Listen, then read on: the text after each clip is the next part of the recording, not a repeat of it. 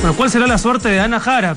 Tiene que pasar primero por el Congreso. Vamos a ver ahí, en esa instancia parlamentaria, si es que la primera ministra continúa al frente del gabinete o no. Ya nos acompaña el congresista del Fujimorismo, Julio Gagó, para que nos cuente un poco, bueno, cómo se está viendo precisamente en el Parlamento la situación de Ana Jara, la moción de censura presentada en su contra y algunos otros temas de coyuntura. Congresista, ¿cómo está? ¿Cómo está? Yo creo que la población, en general el pueblo peruano, no solamente los periodistas, los políticos, los artistas, es carísimo que hemos sido reglados. Mm. Había una indignación total, yo estuve muy indignado ese día en el Congreso de la República.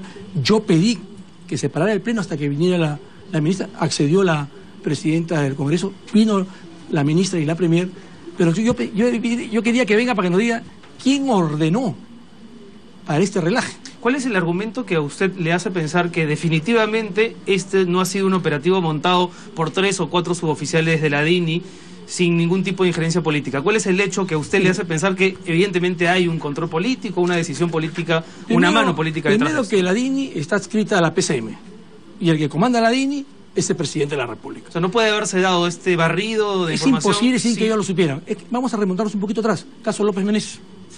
Tremendo despliegue policial de protección en esta casa. Como la DINI no puede saber quién mandó mm. tremenda protección, 20, 20 carros, etcétera, etcétera es imposible saberlo, se vuelve a repetir lo mismo en, este, en este caso especial. Entonces yo le dije a la ministra, usted simplemente tiene que decir quién ordenó. No, voy a mandar que esto lo estudie el Ministerio Público, lo investigue. Pero si usted está diciendo que simplemente fue un recojo de información pública, entonces ¿qué cosa podría investigar el Ministerio Público si usted misma está diciendo que es un recojo de información pública? Claro, ahí lo insólito es, que es la existencia ya de estos expedientes, ¿no? el hecho de que se haya ¿Por qué nace la censura? Renato, eso es importante. Porque yo creo que la población merece una explicación y que se haga algo al respecto. Aquí hay muchos que dicen, no, no la podemos censurar porque este gobierno no tendría a qué, a qué premier colocar, mm. o no se va a ganar el voto de confianza. De eso no se trata, al contrario. Si dejamos así, va a haber una desestabilización del gobierno. Este gobierno sí tiene técnicos muy capacitados para colocar como premier. Lo que pasa que lo que quiere colocar tal vez a un títere de su gobierno, que sea político de gobierno y de esa manera, lógicamente, no va a conseguir un premier. El, día de la presentación de Najara en el Congreso, ¿no se perdió, congresista, un poco la oportunidad de, de un careo más políticamente alturado? Porque hubo pasajes, usted lo debe recordar mejor que yo, estuvo, presente en el Pleno, hubo pasajes en los que daba la sensación de que la oposición o algunos miembros de la oposición terminaban ridiculizando todo este tema, parodiándolo, hablando de la usurpadora, en el caso de Nadine Heredia, entrando de pronto en adjetivaciones que flaco favor le hacían al debate. Usted lo acaba de decir, todos los peruanos necesitamos saber qué está ocurriendo aquí y en muchos tramos de, ese, de esa presentación la oposición también dejaba mucho que desear. No, es correcto lo que usted dice, Renato, pero no hay que olvidarse que el Parlamento de la República, especialmente cuando estamos en un debate como el hemiciclo, es un foro político y entran pues las puyas de todos lados. Pero hay que ver el fondo del asunto. el fondo del asunto es muy sencillo. Nos reglaron la presidenta del Consejo de Ministros, está adscrita la DINI, el jefe oficial del presidente de Antumala, simplemente dinos quién dio la orden a este agente Chávez y a este señor Víctor Gómez que de la promoción de Ollantumal. Simplemente como eso, esa era la única pregunta. No nos dijeron ninguna explicación. Bueno, ¿qué va a ocurrir ahora? ¿Cuántos, ¿Cuántas firmas ya se, ya se tienen? Bueno, ya se presentó la moción. La moción se requería un mínimo de treinta y tantas firmas. se superó esta Fuerza Popular, está el Partido Apristo, hay gente también del PPC, hay parte también de Dignidad y Democracia.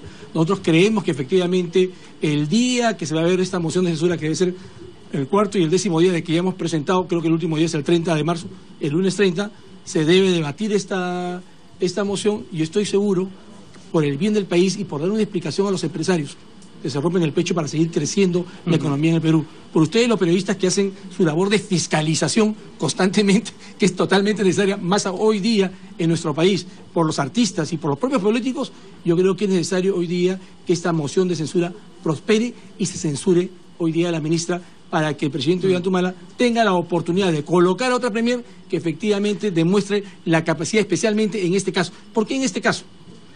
Si hoy día vemos que nos relaron a todos, muy bien, pero ¿dónde está el espionaje? Hmm. ¿Dónde está la delincuencia? ¿Dónde está el sicariato? Nos hemos olvidado por completo. Acá cualquiera nos mete espionaje en cualquier país y no pasa absolutamente nada. ese día, el día del, debate en el Congreso, en la presentación de Ana Jara, surgieron también distintas lecturas del público a través de redes sociales. Y había un argumento que a mí me parecía interesante. Es decir, es perfectamente válida la crítica de, la oposición al gobierno en este sentido, de que si hay un reglaje seguramente hay una, una, luz verde política del presidente, ¿no? Es, es la tesis que maneja que se maneja en, creo yo, la mayoría de bancadas de oposición. Y eso hizo indefectiblemente que se recuerde el gobierno de, Alberto Fujimori, el tema de Montesinos, donde la lógica era también, si Montesinos actuaba por su cuenta, seguramente Fujimori también debe haber sabido. Tesis que los fujimoristas niegan hasta hoy completamente. ¿Por qué hoy sí tenemos que creer y yo estoy a favor de, la investigación totalmente, porque sí tenemos que creer que el presidente está detrás de estas labores de investigación y en el pasado a ustedes les costaba tanto creer que el presidente estaba detrás de las operaciones en primer lugar, de contrainteligencia. está establecido la Dirección Nacional de Inteligencia es muy distinto a lo que era el Servicio de Inteligencia, lo que era el CIM en esa época. Son totalmente distintos. Esto fue totalmente reorganizado de otra forma a través del gobierno de Alejandro Toledo. O sea, estamos hablando de dos cosas distintas. Hoy día está escrita la DINI a la PCM y la cabeza es como se llama el presidente de la República. Ahora, yo no me quiero meterme a hablar del pasado. O sea, ¿qué hacemos hablando del pasado cuando tenemos que hablar del futuro? Si bien es cierto, se cometieron errores y nosotros los fujimoristas no desconocemos que hubieron errores. De los errores hay que aprender. no, estamos diciendo que no hubieron errores, hubieron muchos errores.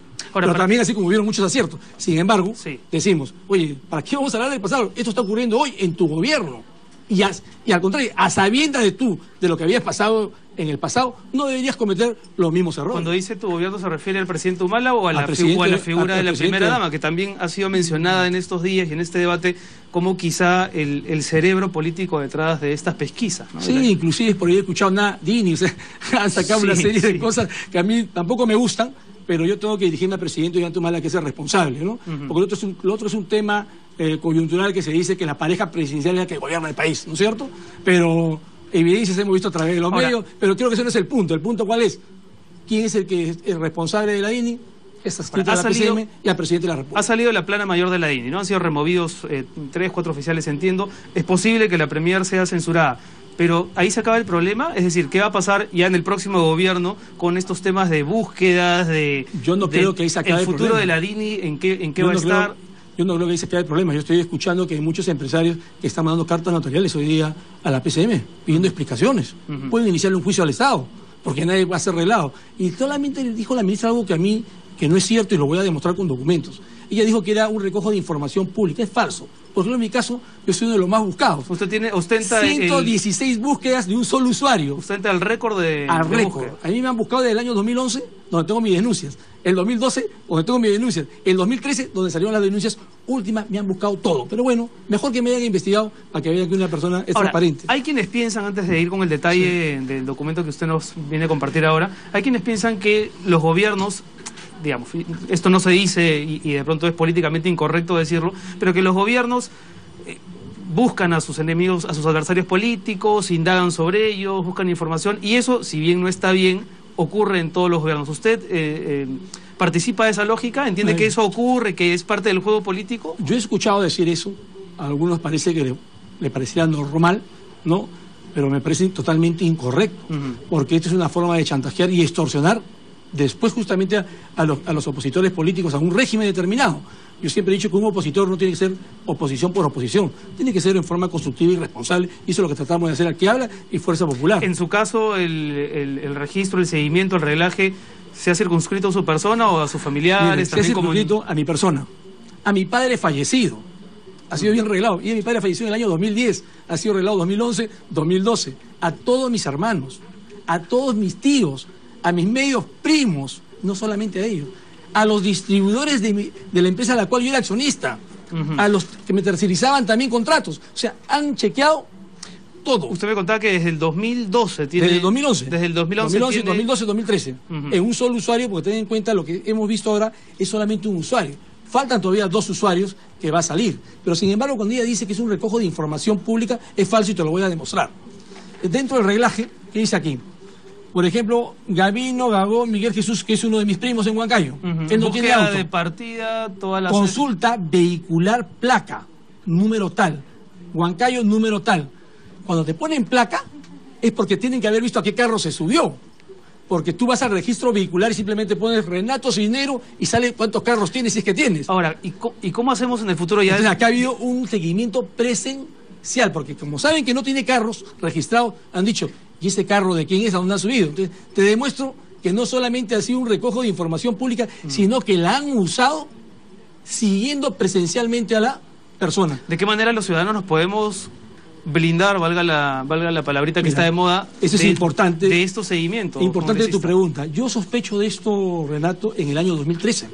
Y acá tengo una carta, Lima 13 de junio del año 2013, dirigida al Superintendente Nacional de Registros Públicos de esa época. Y le digo, quiero que me diga usted todas las personas que han accedido para ver estas empresas de las cuales yo era accionista y para ver las propiedades inmuebles, las mías y las de todos mis hermanos. ¿Y la respuesta de la superintendencia Esta, cuál ¿Cuál es? es la respuesta de la superintendencia? Me dice, nosotros no manejamos ningún registro de accedentes. ¿Cómo? No, no manejamos ningún registro. O sea, cualquier persona puede acceder. Cualquier persona puede y no, acceder. Y no hay ningún tipo de historial No respecto historial. de quiénes son las personas Por- que ven nuestra información. De... ¿Y en qué se justifica? No, porque es una información pública. Yo no niego que debe ser información pública, pero nosotros tenemos derecho a saber tú, Renato, oye, ¿qué personas por lo menos están tratando de ver tu información? y, y a raíz de eso yo presento un proyecto de ley. Eso no- porque además eso no tendría por qué reñir con la ley de transparencia del Ah, Estado. ¿no? totalmente, decir, totalmente. uno puede acceder a la, a la información de quien sea, pero siempre y cuando consigne su nombre en el momento de la Claro. búsqueda. Cuando tú vas, te hacen un papelito y tú cocinas tu nombre. Pero como no hay un registro de accidentes, tú puedes poner cualquier nombre y cualquier DNI y te dan la información. Un registro solucionaría ese problema. Por supuesto, porque yo aquí he presentado un proyecto el 7 de noviembre de 2013 donde debe haber un registro de accedentes, no solamente en el caso de la propiedad inmueble, en el caso de, eh, vehicular, en el caso de personas jurídicas, sino también en el caso de migraciones, también en el caso de la RENIEC. O sea, tenemos derecho por lo menos a saber quiénes han accedido a ver nuestra información. Y si este proyecto hubiese sido aprobado, hoy día sabríamos ¿Y, y que qué pasó? efectivamente pero, la DINI pero ni siquiera llegó a ser debatido, ¿sí? Exactamente. ¿Por qué esto entra en la Comisión de Constitución? ¿Y por quién está presidida la Comisión de Constitución todos esos años? Nacionalismo. por el nacionalismo, entonces lo tienen encarpetado. Si este proyecto hubiese salido, ten la seguridad que todos nos hubiésemos enterado que estábamos siendo reglados por la DINI. Ahora, pero cuando usted dice que lo encarpeta el nacionalismo, ¿usted cree sinceramente que el Partido Nacionalista ahí estaba al tanto de, de este accionar de la DINI? Porque pareciera más bien que fuese una búsqueda quizá digitada por algún actor político, pero usted siente que el nacionalismo en pleno, yo los he visto más sorprendidos a los congresistas del nacionalismo que, que aparentemente enterados de este tema, ¿no? Yo creo que me ha sorprendido es que si ellos trabajan a favor del gobierno, los estén también reglando. Sin embargo, sí. Varios de el ellos, congresista Carlos Brus ha dicho las coincidencias y una vez que salió su salió reglado, la fecha coincide que al día siguiente o, entre ese mes el presidente en ese entonces del Congreso, el señor Esteban Bugatas, inmediatamente lo denuncia. Ahora, hoy el Entonces, presidente- no son coincidencias. Quiere decir que por lo menos podemos presumir que sí sabía. Igual yo, veo el 2011, me denuncian en ética 2011. Veo que me están investigando en el 2012 aquí, me denuncian en ética Ahora, para el- 2012. para el presidente me investigan en el Humala- 2013, apenas empieza el año 2014, me sacan la otra denuncia. Para el presidente Humala, más que el espionaje de la DINI, lo que debería merecer nuestra atención es el espionaje en favor de, en favor de Chile. Ese tema para usted ha sido colocado en la agenda eh, para generar una suerte de manipulación política en la opinión pública o es un tema, digamos, delicado que, merece el posponer ese tema de la de la República DINI? tiene toda la razón, pero me parece que está entrando en contradicciones. ¿Cómo puede ver el espionaje de la DINI si está tan ocupado con más de 100.000 búsquedas de un solo usuario y reglando a periodistas, reglando a empresarios, reglando a políticos? No tiene tiempo de ver quiénes están haciendo espionaje en nuestro país. Y es por eso que se paran colando como Pedro en su casa. Igual, si vamos a hablar de delincuentes, no podemos, no podemos parar la delincuencia. Hablamos de sicariato, no podemos parar de sicariato. Es ahí justamente donde tiene que intervenir la Dirección Bueno, Nacional de Inteligencia. esperemos entonces que este proyecto de ley que me parece que tiene una iniciativa bastante sana, cuidar que todos los ciudadanos podamos acceder también al registro, al historial de aquellas personas que han hecho una Claro. búsqueda, por muy simple que sea, Renato, eso es de porque propiedades. estoy solamente hablando de conocer el registro de accidentes, no que la información no sea pública, que la información siga siendo pública, pero tenemos derecho quién pidió nuestra información. Muy bien, muchas gracias al congresista Julio Gago por acompañarnos hoy en la central y hablar de estos temas. Continuamos con más información y vamos ahora con la trágica historia del día. 37 fallecidos.